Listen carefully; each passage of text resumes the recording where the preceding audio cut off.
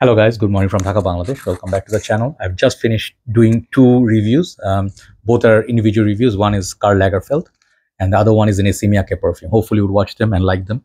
This third episode, before the video start, let me just uh, warn you, this is not about fragrances.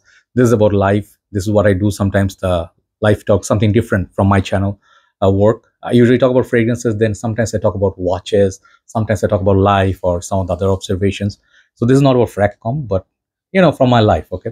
So the topic mostly is to be how a lot of your friends you know so-called friends uh, they waste a lot of your time and they are not really well wishers and then very important i will talk about a concept called evil eye.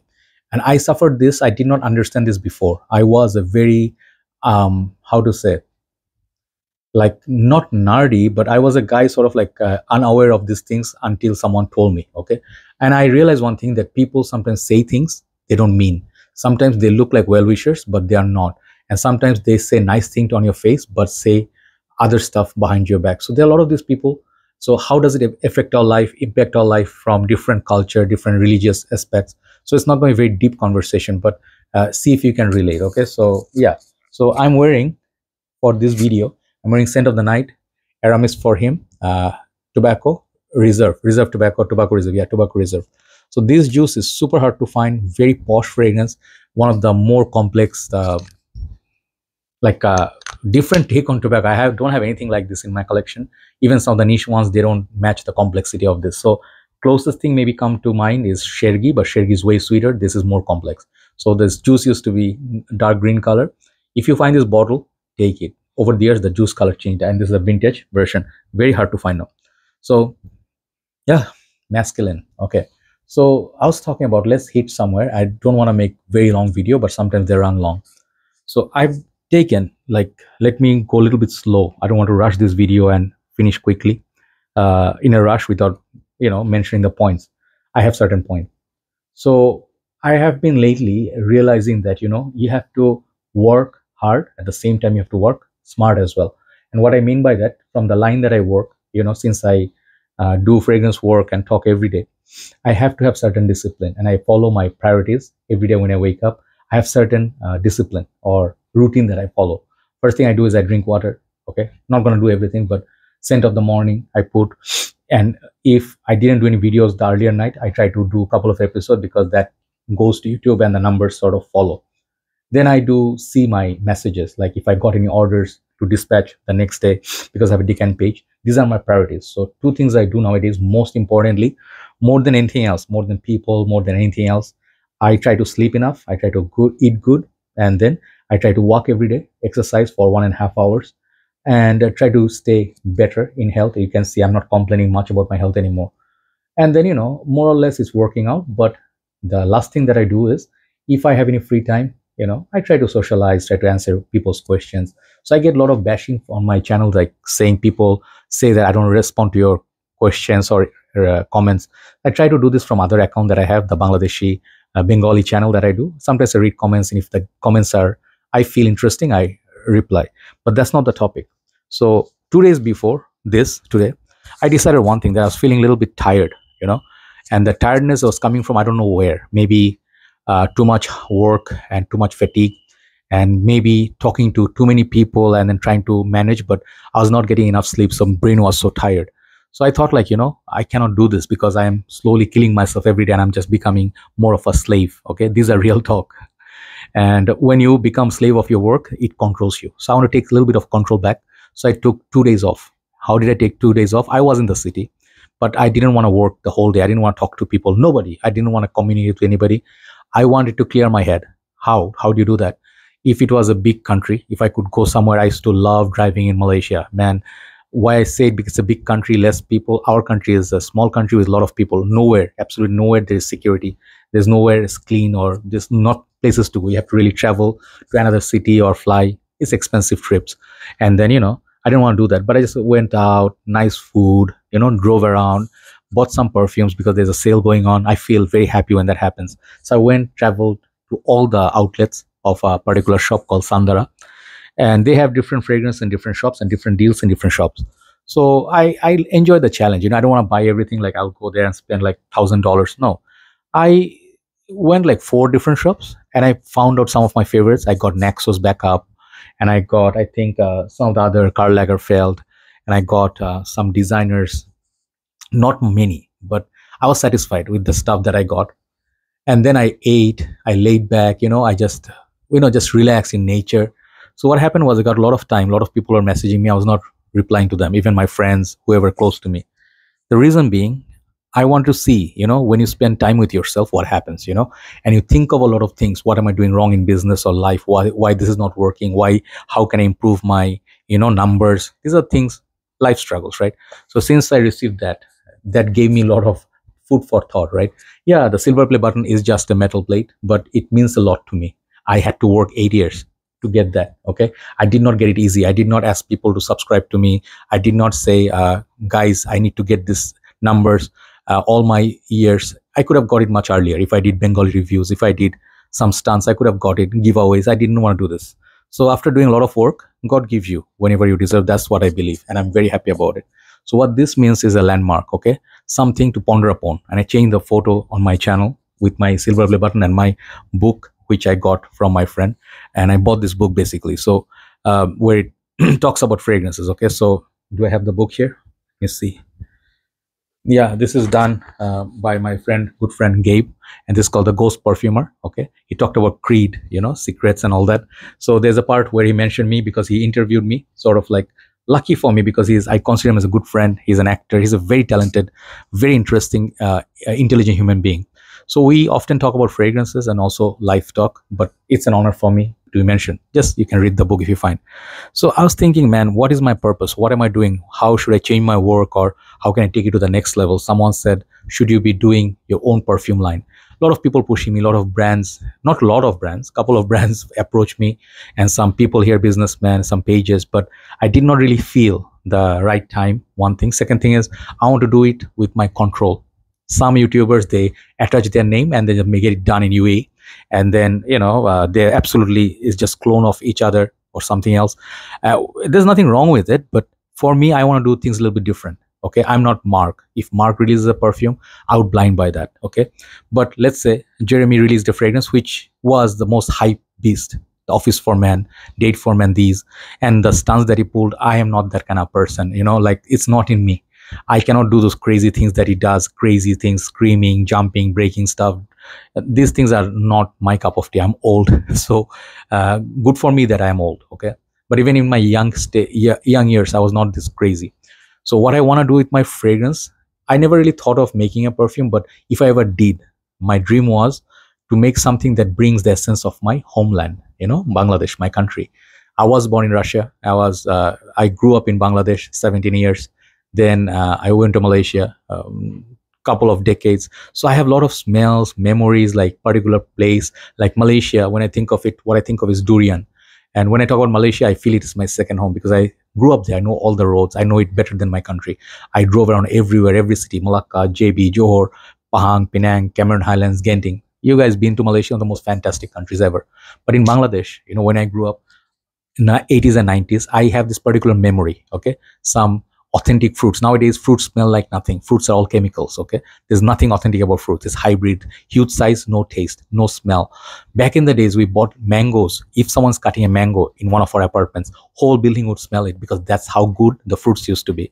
With time, people became corrupted, okay? And people became money oriented. So whatever you're eating is all pure poison. Whatever you eat, fast food, normal food, uh, whatever.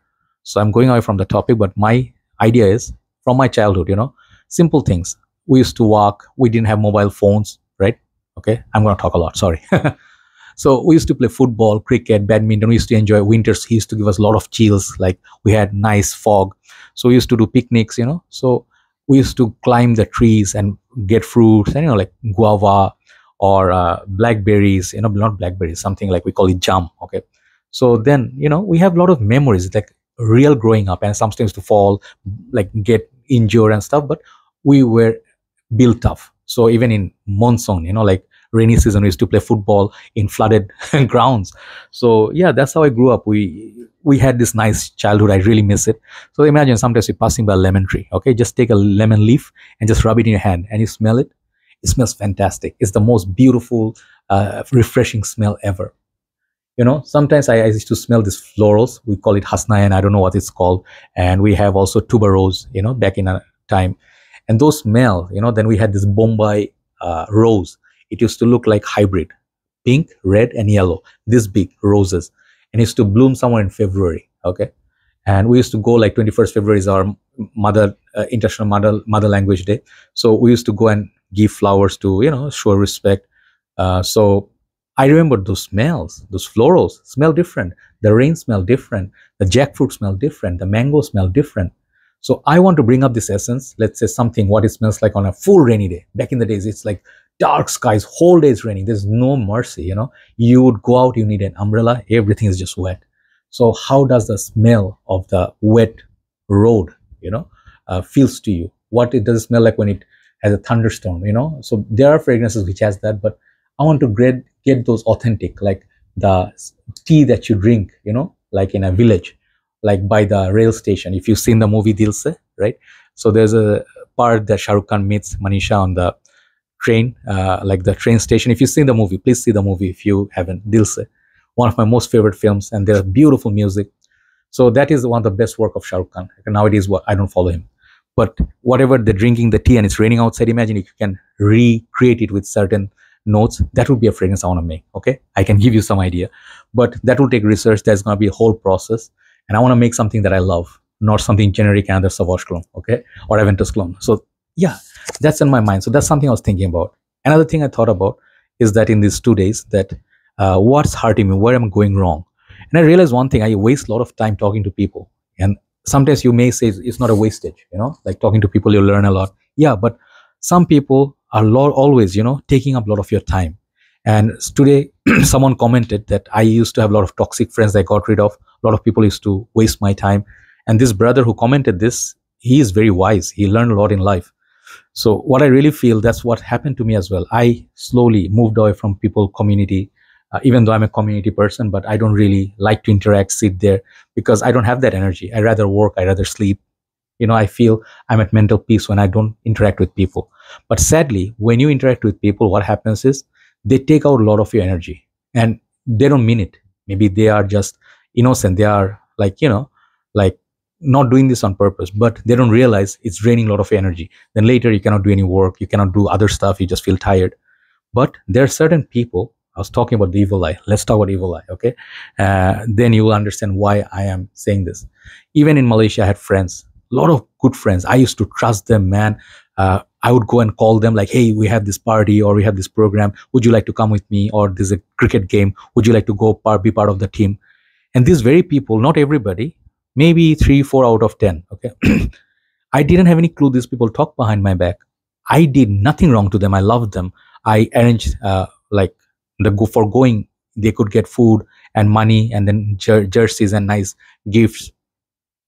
And I used to go and do all this thing on my own. They never did any work I did the work, but I wanted to make the team happy, right? So I will always want to be a leader. I used to play cricket and all that.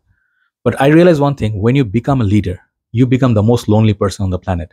And the people that you think you have around you, they're only with you because of your uh, you are happening, you're doing something for them, they have something to achieve from you, or they're supposed to enjoy the work, like enjoy some occasion, but they don't want to do any work. There are a lot of people like that, free riders. Okay, we call them free riders. And these very people, go and talk to your friends, they meet your friends, and they ruin your relationship with the other friends. And this is something I realized much later. And the day I realized it, those are some of my best friends. And I got one guy, okay, doing this to me long time back, and I lost almost faith in humanity.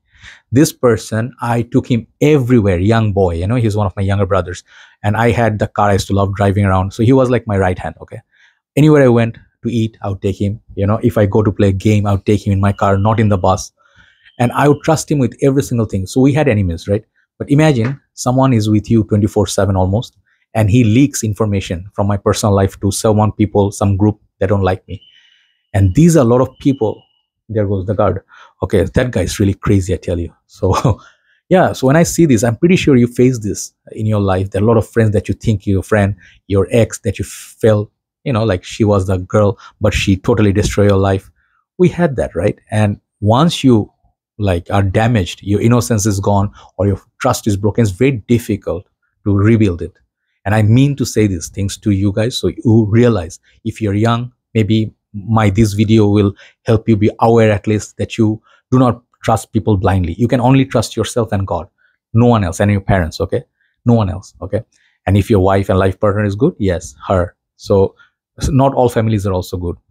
But what i really found out that when people break your trust it's like mirror. Once they're broken you can fix it sort of with the tape and glue but it will never be restored to 100% you always have doubts. You always suspect when the people approach you new people approach you they want to be your friend. You don't want to trust them. So this thing i'll tell you one thing. Some of your friends are the worst enemies that you have okay? And i'm not going to mention any specific names or something but in my life 43 years old i am right now i realize it's your best friends who stab you at the back because when you walk ahead you trust the people behind you. You do not trust your enemies okay? Because they are hiding somewhere. You know they're going to attack you and they are the ones they are going to harm you but you don't expect that from your friend. Big big wars you know like like battles you know in the past they were lost because of betrayal okay? And betrayal comes from who? Your closest friend okay? There was a line uh, i think it was maybe scarface. Not scarface sorry donnie brasco perhaps. It's i don't remember the movie but it's it was something like this that you know a lot of times you get hit by the closest friends and uh, they were your some of your best friends. Something like that al pacino says in a backdrop or something. So it's always your best friends and so-called friends well-wishers who are envious of you who are the ones who can stand you. Okay? Mind you not everybody is like that a lot of good people out there who are your strength your core strength but they're the people who always say i'm with you brother. They give you like you know like like hit you up. They give you that like whole hype. Hey bro go ahead. Go go fight with that guy and go destroy him. Let's go let's go uh, ruin some places ruin some people's happiness. And when that you know the poo poo hits the fan nobody's seen around. You are the only one who suffers. And you look back nobody's there to support you. And they'll just give you hey bro i'm here but do you know like i might get into trouble and stuff these are the people you need to get rid of. Second i'll give you one more tip okay? I'll finish in 20 minutes. Those people who always ask you about your secrets what do you do? Who are you dating? How much do you earn? Okay? And uh, what is your life this and where do you grow? They take all sort of information from you but when you think of it really you don't know anything about them. Be very careful from these people okay?